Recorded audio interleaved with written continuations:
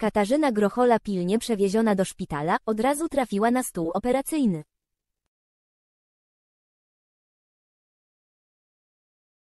Dorota Szelongowska ujawniła szczegóły, niepokojące wieści od Katarzyny Grocholi.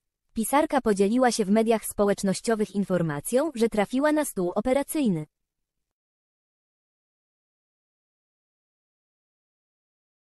Niedługo później głos w sprawie zabrała jej córka, Dorota Szelongowska. Wiemy, co stało się 67-latce.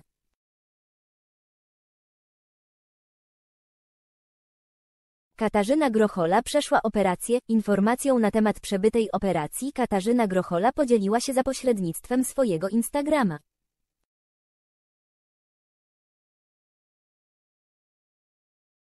W sobotę 2 listopada na jej koncie pojawiło się bowiem niepokojące nagranie nakręcone w karetce.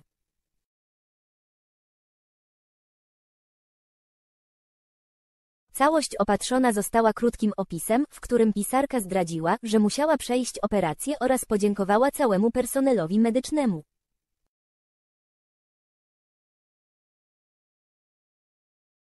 Cały wpis wywołał spore zmieszanie i niepokój wśród fanów gwiazdy. Warto wspomnieć, że 67-latka dwa lata temu przeszłą podwójną operację.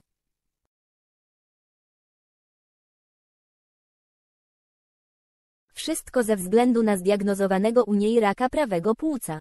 Z tego powodu wieści o kolejnym zabiegu i hospitalizacji tak bardzo zaniepokoiły wszystkich fanów.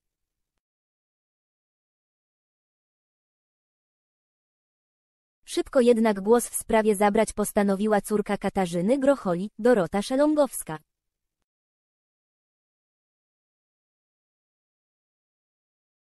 Projektantka wnętrz udostępniła w swoich mediach społecznościowych specjalną relację, w której podziękowała za troskę o jej mamę.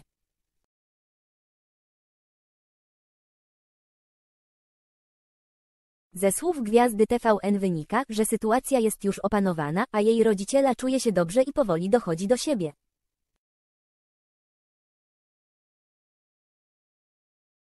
Dorota Szelongowska nawiązała do nałogu swojej mamy. W dalszej części nagrania, które pojawiło się na relacji, Dorota Szelongowska postanowiła nawiązać do ograniczeń, które czekają jej mamę po zabiegu.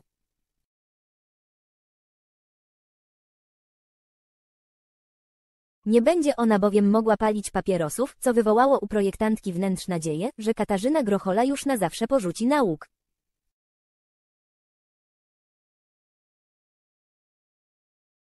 Do tej pory nawet choroba płuc nie była w stanie zmienić jej przyzwyczajeń.